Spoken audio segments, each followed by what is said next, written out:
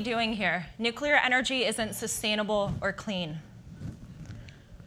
This accusatory statement came from a woman in the audience when I was speaking at COP22 in Morocco last year.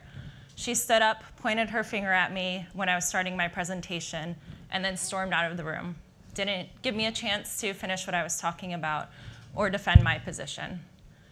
This year at the upcoming climate change talks, COP23, coming up in Germany starting next week, the UN environmental program, UNEP, denied sponsorship to the World Nuclear Association on the grounds that they didn't feel comfortable in including nuclear energy in their side event. Me and my company were going to contribute to this sponsorship and won't be attending that event now next week. This kind of technology bias and tribalism is something I've experienced recently as I've become more involved in the clean energy sector, trying to promote our technology in nuclear.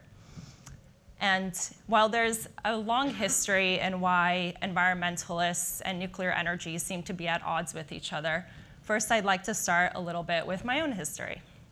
So my name is Lenka. People often ask me where I'm from because although I have an American accent, my name is a little bit different. Uh, when I was young, my parents and I were refugees to the US from the former, so former Soviet Union um, in Slovakia. We decided to leave um, and came to the US, and I grew up in between two different cultures that I was always trying to bridge the gap of. My Eastern European family tends to be very uh, reserved and cynical, whereas Americans are very positive and kind of have this like go-getter entrepreneurial attitude. So I was never 100% Slovak or 100% American and felt like I needed to bridge this gap, but always feeling different and not belonging anywhere. So I decided to become a cynical entrepreneur, I guess you could say, um, in between the two cultures. Now, being, being different, uh, growing up, I was not afraid to be different in my career. So naturally, when I went to college, I decided to be a nuclear engineer, not something that most people do. Um, I took a nuclear engineering seminar freshman year, and I was really inspired by the technology, not just for electricity production, but also for how we can use it in medical applications such as medical imaging or even curing cancer, agricultural applications for irradiating food so it can last longer, and even for space exploration. And throughout school, I thought, this technology is amazing and we use it every day in our lives, even in smoke detectors in our homes, but most people don't know much about it and are even afraid of it. So throughout school, although I was studying engineering and got to do really cool things like operate this nuclear reactor at Purdue, um, I decided to focus much more on the communication and policy side because this is where we were struggling in nuclear energy. And I found myself, again, bridging this gap between the technology and policy. My dad was also an engineer. Uh, this is a picture of the Bohunice nuclear power plant back in Slovakia. It's right outside of the town of Trnava, where my family is from. My dad worked in city planning, and he worked on a project to bring the excess heat from this nuclear power plant to the city during the winter months in order to heat the buildings, a very energy efficient process. We were also environmentalists at home growing up. Um, we were the first people I knew to have solar panels on our house. My first car was a hybrid, and my dad was constantly finagling with our water heater and our air conditioning system to make sure we weren't paying for any electricity. We were basically doing energy efficiency and demand response before it was cool. I didn't think it was that cool back then. and another thing he always told me was to not believe in the environmentalists in the US, that they were anti technology, anti nuclear energy, and their protests against nuclear power plants in the 70s had caused more coal plants to be built. Now, I think that the intentions of environmentalists were the best at the time, and I don't think that the nuclear energy industry did their best to include communities in the process and to make sure that people were a part of the decisions that were being made. And so these two tribes formed. And as Yuval Noah Harari says in his book Sapiens, evolution has made Homo sapiens, like other social mammals, a xenophobic creature sapiens instinctively divide humanity into two parts we and they. But this kind of tribalism isn't going to help us solve the world problems that we face. And the energy sector and technology sector can help us solve these problems. from bringing the 1.2 billion people still without electricity, bringing them electricity, and bringing billions others out of energy poverty, to getting rid of the pollution in developing economies, and bringing the millions of people that still don't have it access to clean water and refrigeration for their food. The US, uh, the Energy Information Administration predicts that our energy demand will rise by 28% um, through 2040. And that three quarters of this energy demand will still be fulfilled by fossil fuels. I think that we can do better than this, and I hope that we do for the sake of our planet and our human population. So we need to continue um, the trend that we're on and even increase it in terms of the exponential growth that we're having in renewables, which is amazing but we're going to need a lot more in order to decarbonize not just our electricity system, but transportation, industry, and heating. And so I'd like to introduce some of the seemingly unpopular technologies that are out there that we need to be embracing a little bit more and including as a part of the conversation. The first one is carbon capture, utilization, and sequestration.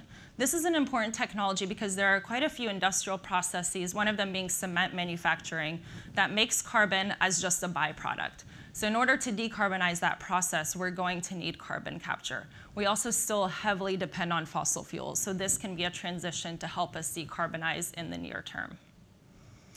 Second is hydrogen. This is something where I saw a, presentation from Bloomberg earlier this year in which the speaker said hydrogen cars are dead and electric vehicles are the only way forward. However, there's huge companies like Air Liquide, Shell, Toyota, and Honda that are investing in hydrogen infrastructure and fuel cell cars, even right here in the Bay Area. They estimate that 13% of world energy demand could come from hydrogen by 2050, and this would avoid 7.5 gigatons of carbon emissions annually. This is a huge potential reduction and a technology that we could be embracing more and including as part of the conversation. The problem is that most hydrogen today is made from natural gas, so we're going to need another clean energy source to help us produce all this hydrogen. Which brings me to my favorite unpopular technology, nuclear. There it is, it's providing 20% of our electricity today, 60% of our carbon-free electricity in this country, but it has some baggage.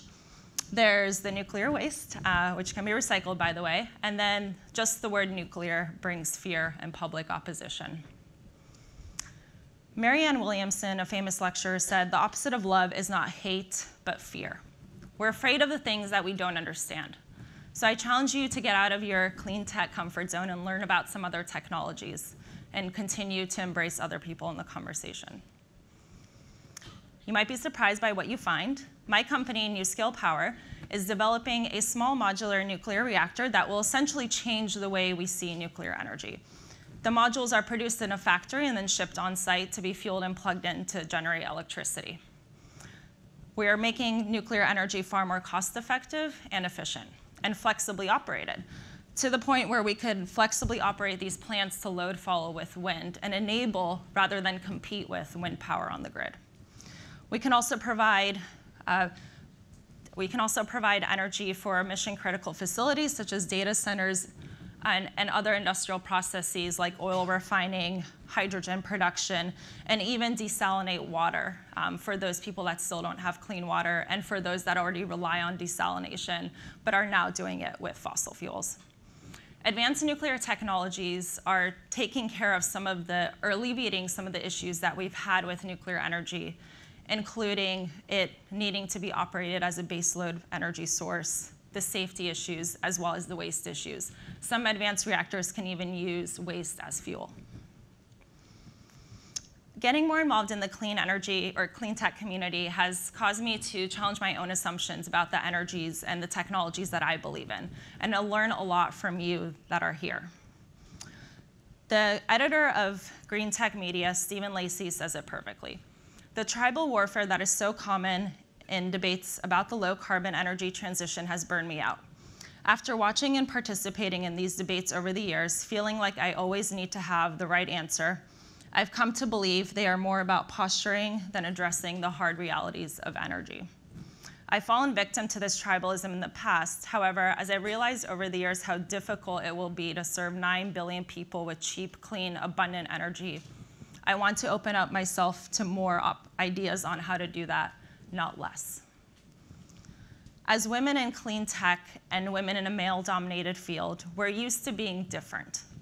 So, and we're also used to bringing the human aspect into technology. So as I tell my own peers in nuclear energy to get out of our echo chamber and learn about other things, go to clean tech conferences, I also challenge you to get out of your comfort zone and your echo chamber of the sector that you work in. I may have not convinced you on the merits of nuclear energy today. That would take a little bit more than a 10-minute talk. But I hope that you're at least willing to learn from me and, and ask me questions, and I hope to learn something from you in return. Thank you.